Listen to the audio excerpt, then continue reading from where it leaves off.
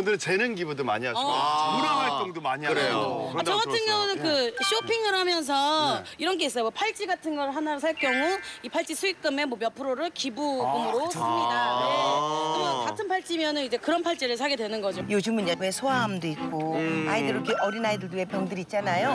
그런 애들을 위해서 헌혈증. 또 그리고 헌혈증 기 부. 아. 또왜 항암 치료하다 보면 머리가 그러니까 이제 머리 같은 것도 아이고. 모발도 저 난 스타- 너무 좋은 것 저 같아. 스타일리스트 동생이 머리 네. 허리까지 왔는데 기부를 하려고 단발로 잘랐어요. 그래서, 그래서 그걸 집에서 이렇게 예쁘게 말려놓고 이제 무섭다. 무섭다. 집에 달려왔다고? 무섭다. 아니 왜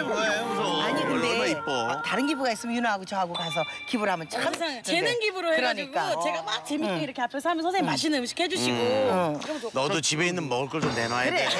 그래 먹는 거 내놓는다는 얘기를 한 번을 안 한다. 아니 먹는 꼭 나보고 하래잖아요 종민 씨는 뭘 기부할까요? 저는 게임을 사실 좋아해요. 아 그래요? 네, 그러다 보니까 이런 게임이 뭐 김종민 이겨라?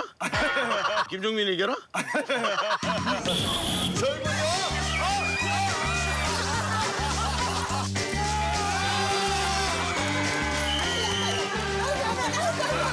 김종민 이겨라? 컴퓨터 게임 그런 줄 거, 알아.